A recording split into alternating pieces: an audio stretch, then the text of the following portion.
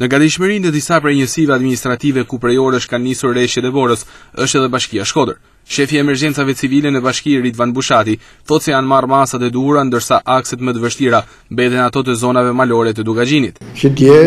kanë fillu reshje dëbore në zonat malore, kryesisht komunat Shalë, Pult dhe Shosh.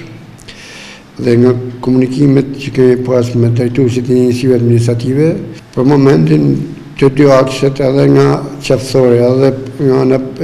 Mali i Shoshit është e kalushme, ama Qafë Thore shumë e vështirë, se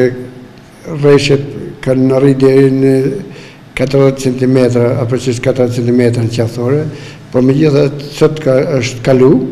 Me zinxhir normalisht. Po vazhdu normal që mund të ketë edhe bllokime, por nga ana e bashkisë janë marrë masat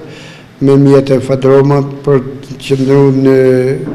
gatishmëri të komunitetit atje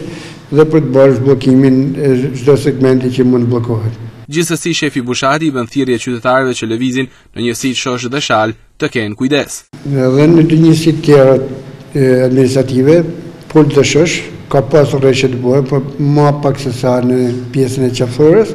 ku trashësia arrin 20-25 centim në vende të caktume, por është e kalushme për momentin aksi rrugor, gjithmonë me zinxhir, me këtë rast i bëj thirrje dhe drejtuesve të mjeteve që